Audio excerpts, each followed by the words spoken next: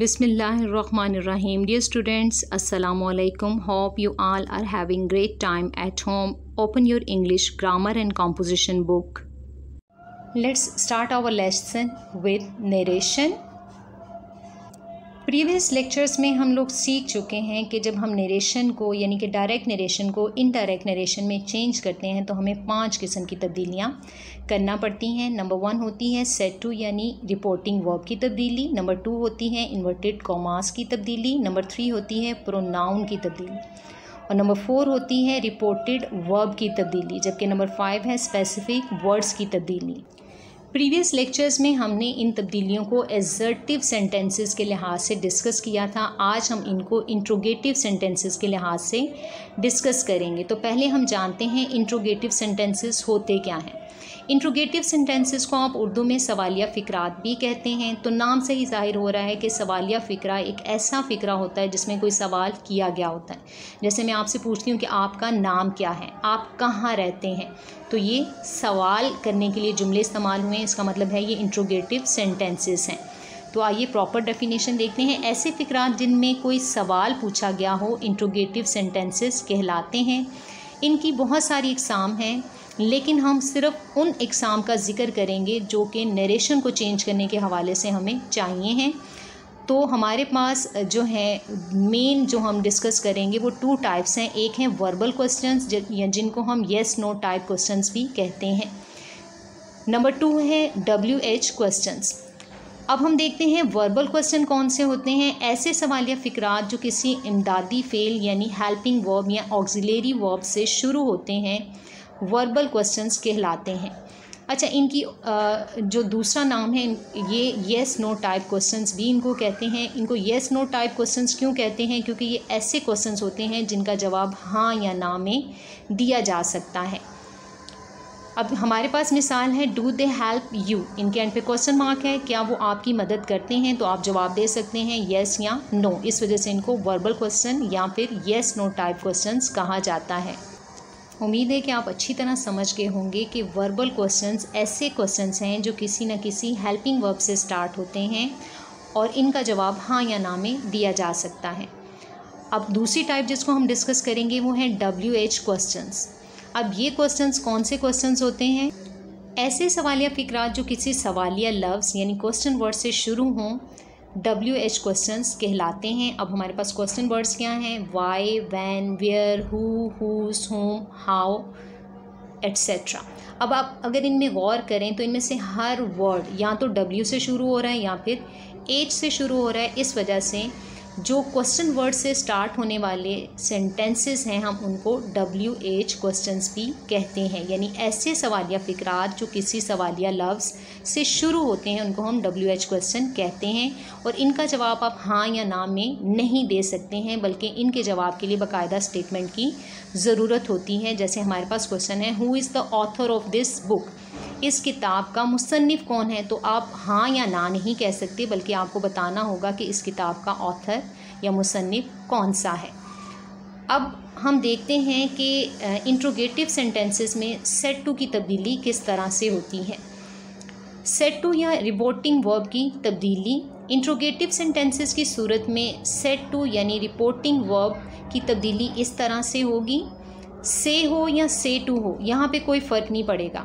Assertive sentences में मैंने कहा था कि आपके पास चॉइस है कि अगर खाली से है या खाली सेज़ है या खाली सेड है तो आप इसको ऐसे ही रहने दे सकते हैं। लेकिन चूँकि क्वेश्चन सेंटेंसेस में हमारे से हमसे कोई ना कोई क्वेश्चन किया जा रहा होता है तो क्वेश्चन का मतलब होता है पूछना।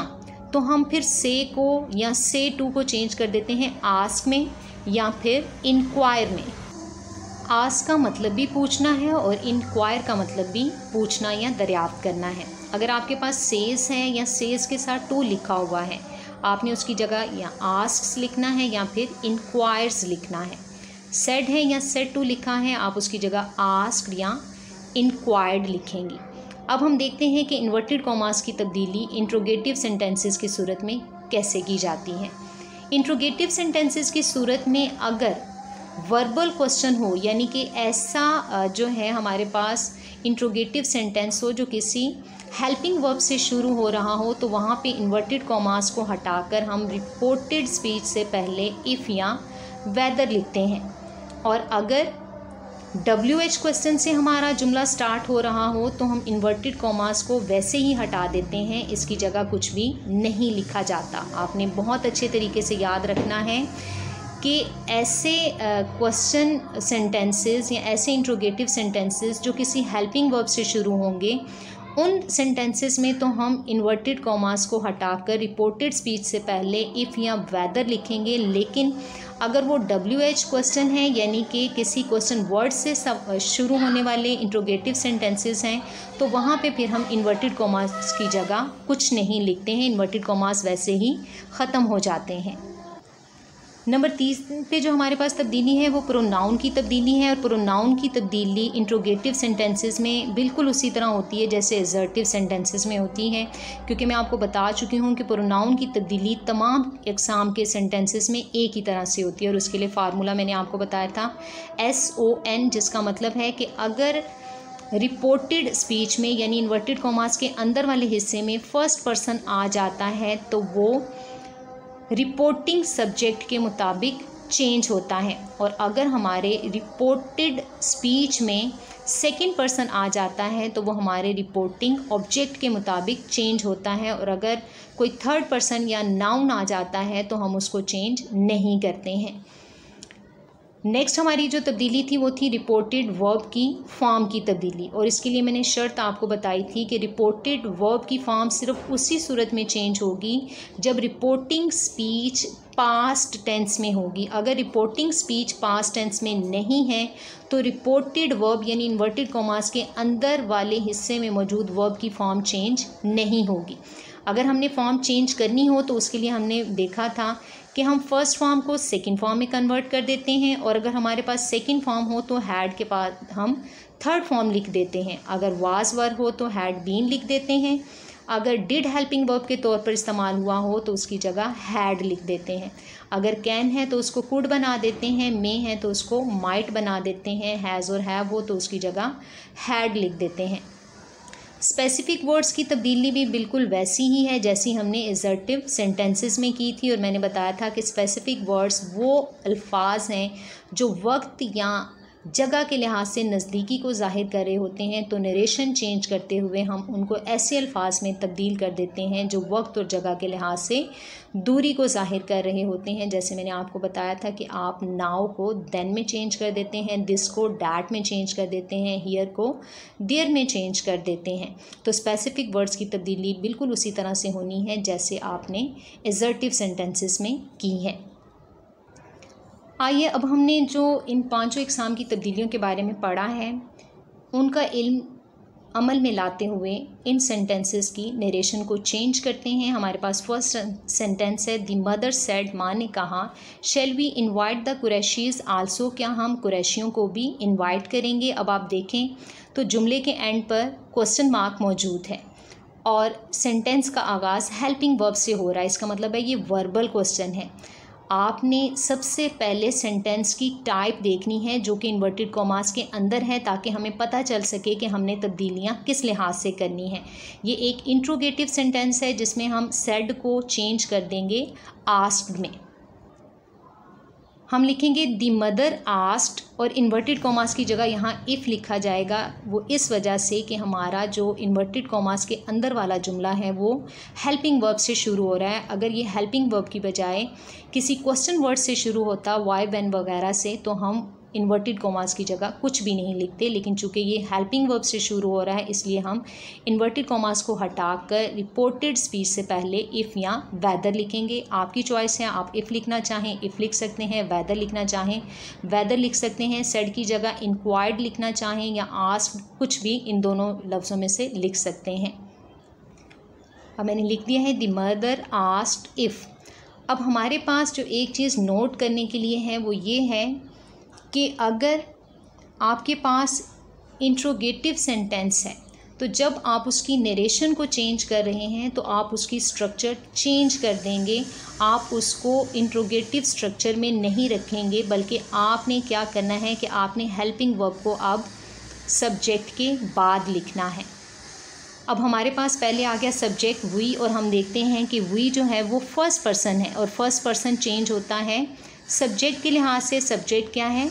मदर अब वी जो है, वो फ़र्स्ट पर्सन है, पहले इसकी हम हालतें लिख लेंगे। वी आवर और अस अब बाहर मदर है, लेकिन चूँकि वी जमा है तो मदर की जमा आ जाएगी दे तो हम लिखेंगे दे देयर और देम अब हम देख रहे हैं वुई के नीचे क्या आ रहा है। दे तो इसका मतलब है हम वुई की जगह लिखेंगे दे। अब हमारे पास बारी है शेल की, और हम देख रहे हैं कि बाहर पास्ट टेंस मौजूद है तो हम शेल की पास्ट फॉर्म लिखेंगे वुड और जब हम वुड लिख चुके हैं तो इनवाइट की सेकंड फॉर्म आप नहीं लिखेंगे, बल्कि इनवाइट ही लिखेंगे, क्योंकि वुड के बाद first form of the verb लिखी जाती है। इनवाइट द कुरैशीज़ आल्सो वैसे ही लिख लेंगे। द कुरैशीज़ इस वजह से वैसे ही लिखा है कि द आर्टिकल है जो चेंज नहीं होता कुरैशीज़ थर्ड पर्सन है, ये भी चेंज नहीं होता, और आल्सो भी चेंज नहीं होगा। एक बात आपने याद रखनी है कि लास्ट में अब आपने क्वेश्चन मार्क नहीं लगाना, बल्कि फुल स्टॉप लिखना है। नेक्स्ट सेंटेंस देखिए she said is this your book अब यहाँ पे भी देखें तो लास्ट में क्वेश्चन मार्क मौजूद है, इसका मतलब है इंट्रोगेटिव सेंटेंस है। इज़ यानी हेल्पिंग वर्ब से शुरू हो रहा है, इसका मतलब है वर्बल क्वेश्चन है। और वर्बल क्वेश्चन की सूरत में आपने याद रखना है कि इन्वर्टेड कॉमास की जगह पर इफ़ या वेदर लिखा जाएगा। हम लिखेंगे शी सेड चेंज हो जाएगा आस्ट में, क्योंकि सवाल पूछा जा रहा है। इन्वर्टेड कॉमास की जगह लिखेंगे इफ़ अब वही चीज़ आपने याद रखनी है कि अब हमारी स्ट्रक्चर जो है वो इंट्रोगेटिव वाली नहीं रहेगी। हम लोग हेल्पिंग वर्ब जो है वो सब्जेक्ट के बाद लिखेंगे। तो पहले क्या आ रहा है? दिस दिस हमारा स्पेसिफिक वर्ड है, जिसकी जगह हम लिखेंगे डैट उसके बाद इस है और बाहर पास्ट टेंस मौजूद है तो हम इसकी सेकेंड फॉर्म लिखेंगे डैट इफ़ डैट वॉज़ अब यहाँ पे देखें, योर लिखा है। योर हमारा सेकंड पर्सन है। सेकंड पर्सन चेंज होता है अपने रिपोर्टिंग ऑब्जेक्ट के मुताबिक और यहाँ पे ऑब्जेक्ट मिसिंग है तो हम सपोज़ करेंगे कि यहाँ पे मी ऑब्जेक्ट मौजूद है।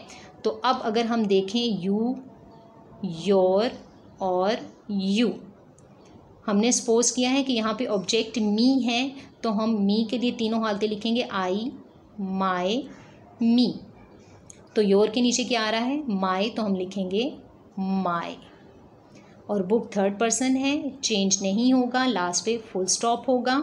ये बनेगा she asked if that was my book और अगर आप चाहें तो यहाँ पे मी भी लिख सकते हैं, ताकि एग्जामिनर को पता चले कि आपने इसको किस ऑब्जेक्ट के लिहाज से चेंज किया है। ये मैंने आपके लिए लिख दिया है। She asked me if that was my book ताकि आपको याद रहे कि मी का ऑब्जेक्ट हमने खुद स्पोज किया है। हमने स्पोज किया है कि बात हमसे की गई है। नंबर थ्री पे देखें ही सेड उसने कहा do you have any share in this business क्या आपका इस कारोबार में कोई हिस्सा है? लास्ट पे देखिए क्वेश्चन मार्क है, और डू यानी हेल्पिंग वर्ब से शुरू हो रहा है। इसका मतलब है ये वर्बल क्वेश्चन है तो यहाँ पर हम इन्वर्टेड कॉमास की जगह इफ़ या वैदर लिखेंगे। सेड की जगह आस्ट लिखा जाएगा और ये बनेगा ही सेड यहाँ पे हम शुरू में ही सपोज़ कर लेते हैं कि हम ऑब्जेक्ट यहाँ पे रखते हैं मी क्योंकि अंदर फिर यू मौजूद है, जो सेकंड पर्सन है, जिसको हमने ऑब्जेक्ट के साथ चेंज करना है। तो जब आपका ऑब्जेक्ट मिसिंग हो तो आप सपोज़ कर सकते हैं कि बात आप ही से की गई है।